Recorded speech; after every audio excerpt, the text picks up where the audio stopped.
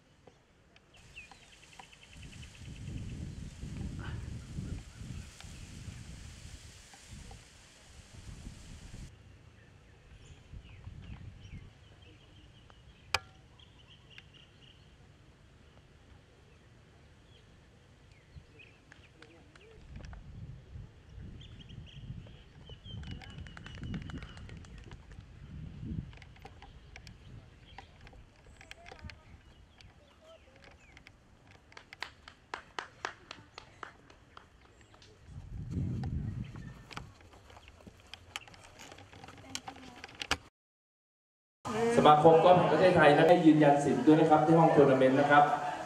ตอนแข่งก็ต้องกินให้บ่อยค่ะ แล้วก็จิบน้ำเรื่อยๆ เพราะว่าอากาศร้อนมาก แล้วก็พยายามมีสติในการเล่นทุก ๆ ช็อต แล้วก็ไม่ทิ้งช็อตค่ะ รู้สึกดีใจมากๆ ค่ะ แล้วก็อยากขอบคุณคุณพ่อคุณแม่ แล้วก็โค้ชที่สอนอยู่ค่ะ